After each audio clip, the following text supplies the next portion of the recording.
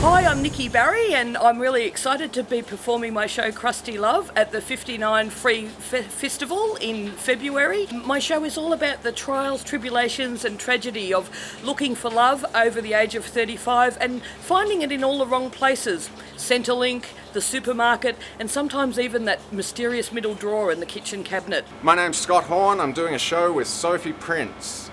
The show's called Punch Up. It's about punching up at people above us, making fun of the landlords rather than the homeless, the bankers rather than the poor. Now it's kind of more about two people just having a fight. See that tooth? Sophie's got a mean right hook. Hello there, Internet and real life people. I am Thaddeus P. Troll. I am one of the many characters that you could come and experience if you come along and see character comedy as performed by Luke Bleezer and Avi Burnshaw as Blernshaw Comedy here at the Station 59 Free Comedy Festival. Come and join the YouTube comment section. I'm Alan. Come down, hear about my mother who doesn't care enough, my girlfriend who cared too much, and a stalker that I got when I came to Melbourne. And I'm Steph Jarrick, and I'll be doing such classic comedy subjects as Frankston jokes, dodgy travel stories, and how I write my comedy on a motorbike. Guys, the only stereotype you're gonna see is great Irish and Aussie humour. Hi there, my name's David Rose and I'm doing a show at the Station 59 Free Comedy Festival with a man named Michael Schaefer. Now, Michael's not here at the moment, he's not really pulling his weight, but it's alright because he's anorexic and we love him. Come down, check out the show, it'll be a great time. Free Comedy Festival. Hi there, my name's Andy Moratis. That's Moratis. I know, the J is not only silent, but it's also invisible. I'm doing a comedy festival show at Station 59. It's titled Single Dad, and it, uh, it's about myself.